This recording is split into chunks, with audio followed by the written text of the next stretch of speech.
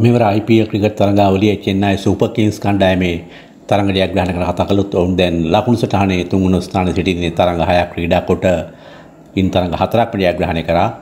මෙහිදී විශේෂයෙන් කිව යුතුයි චෙන්නයි සුපර් කිංස් කණ්ඩායම ක්‍රීඩා කළ අවසන් තරම දෙකම ජයග්‍රහණය කිරීම කැපිපෙනෙන කාරණයක්. එම තරඟ දෙකම ජයග්‍රහණය කරේ වනිදු හසරංග නියෝජනය කරන රොයල් චැලෙන්ජර්ස් බැංගලෝර කණ්ඩායමට එරෙහිව සහ මුත්තය මුරලිදරන දඟපන්දියීමේ පුහුණුකරු ලෙස කටයුතු කරන සන්රයිසර්ස් හයිදරාබාද් යන කණ්ඩායමට එරෙහිවයි.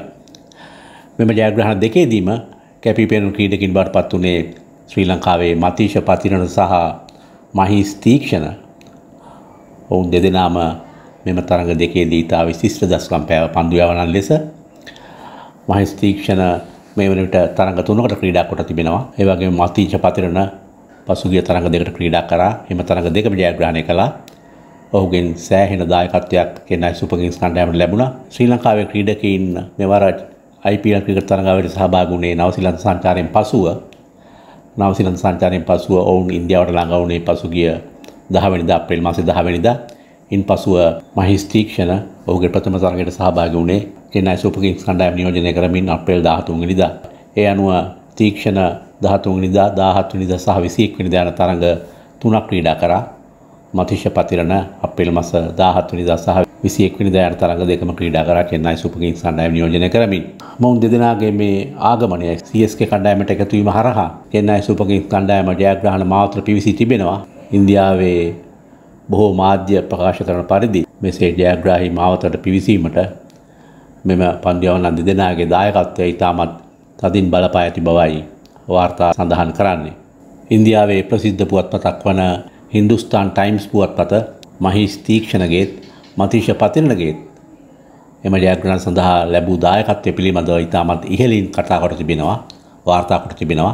හින්දුස්ථාන් ටයිම්ස් පුවත්පත අද ඔවුන්ගේ මාතෘකාව කොට තිබෙන්නේ a Sri Lankan flavor to CSK's bowling edge the win on Friday against Sunrisers Hyderabad at Chepauk Short Matisha Patran and Mahesh Tikshana could be CSK's solution to the slog overs conundrum යන ශීර්ෂ පාට ඔස්සේ තමයි එම වාර්තාව දුන් පළ කොට තිබෙන්නේ. මෙහිදී විශේෂයෙන්ම මතිෂ පතරණගේ පන්දියීමේ විලාශය පිළිබඳ කතා කොට තිබෙනවා. ඒ වගේම මහේස් තීක්ෂණ ඔහු දිනෙන් දින ඔහුගේ පන්දියවීමේ වර්ධනයක් පෙන්නුම් කොට ඇති බවත් එම වාර්තාවේ වැඩිදුරට සඳහන් කොට තිබෙන්නේ. ඒ අනුව මහේස් තීක්ෂණ ගත්තොත් ඔහුගේ පසුගිය තරඟ තුන ගත්තොත් ඔහුගේ වර්ධනය පෙන්නුම් කොට ඇති ආකාරයත් එහි සඳහන් කොට තිබෙනවා. මහිස් තීක්ෂණ පළමු තරඟයේදී ලකුණු 42කට කඩුළු ලබාගෙන නැහැ. ඊට පස්සෙ ඔහුගේ පන්දු වාර 4ේදී ලකුණු 41කට එක් කඩුල්ලයි. ඉන්පසු අවසන් සහභාගී තරඟයේදී තුන්වන තරඟයේදී ලකුණු 27කට එක් කඩුල්ලයි.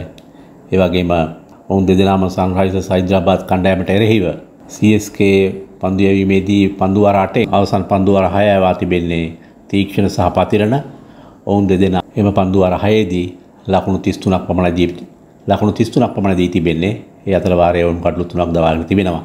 මෙසේ හින්දුස්තාන් ටයිම්ස් පුවත්පත වගේම බොහෝ ඉන්දියානු මාධ්‍ය මෙම පන්දියවන්න දෙදෙනා ගැන වර්ණනා කොට තිබෙන්නේ. ඔවුන්ගේ පන්දියාවීමේ ඉරියව්ව ඒ වගේම මින් පෙර අජන්ත මෙන්ඩිස් සහ ලසිත් මාලිංග IPL තරඟ ඉතිහාසයේ දැක් වූ දස්කම් යලි සිහිපත් කරමින් මෙම ක්‍රීඩකින් දෙදෙනා මේ පන්දියවන්න දෙදෙනා ක්‍රීඩා කරන ආකාරය ඉතාමත් ඉහළින් වර්ණනා කොට තිබෙනවා. අනෙක් කාරණේ තමයි පැහැදිලිව කිව යුතුයි මෙවන් තත්ත්වයකට මොවුන් දෙදෙනාගෙන් වැඩ ගැනීම සඳහා ඒ පිළිබඳ අවබෝධයෙන් කටයුතු කරන CSK නායක මහින්ද්‍ර සිං ධෝනි පිළිබඳවත් අපි කතා කළ යුතුයි. බොහෝ වෙලාවට විශේෂයෙන් මතීෂ පතිරණ ගත්තොත් ශ්‍රී ලංකාවේදී ඔහුට අවස්ථාවක් නොලැබෙන මොහොතක මහින්ද්‍ර සිං ධෝනි දිගින් දිගටම ඔහු කෙරෙහි විශ්වාසය තබා මෙසේ තරඟාවලියට යොදා ගැනීම මම හිතන්නේ ක්‍රිකට් ක්‍රීඩාව පැත්තෙන් අපි අගය කළ යුතු කාරණයක් වෙනවා.